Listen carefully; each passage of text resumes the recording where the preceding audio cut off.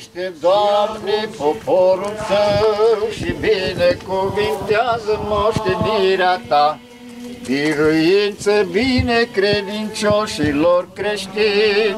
Alimentarea cu apă în Pojogene a costat aproximativ 3 milioane de lei. 600 de mii au fost asigurate din bugetul primăriei Târgu Cărbunești, iar diferența a fost suportată de Compania Națională de Investiții. Visul localnicilor de a avea apă a devenit realitate după decenii de așteptare. Acum fiecare din cele 1800 de persoane din satele Comănești, Cerăt, Pojogeni și Cuci trebuie să plătească o taxă de branșare de 240 40 de lei. Această utilitate care se numește apa nu mai este o moft, este o necesitate. Apa este izvorul vieții. Acum, ă, de când să o care de la cum au cărat-o atâtea zeci de generații de când s-au născut cu sacaua de la fântână, acum ori vor avea apă la bucătărie, vor avea apă la toaletă. Dumitru Caragea, un octogenar din Cerăt, vrea să-și împlinească urgent visul de a avea baie în casă și să scape de toaleta din fundul curții. Eu pentru mine, eu sunt bătrân, eu pentru mine, dar mă bucur că au nepoții, copii,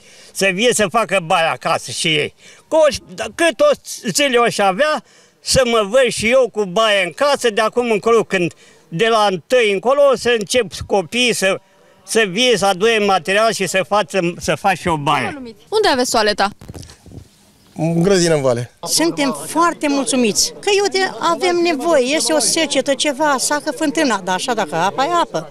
Plătim, necoasă și cu asta basa. Prezenți la inaugurarea sistemului de alimentare cu apă au fost și reprezentanții Companiei Naționale de Investiții. A fost o colaborare foarte bună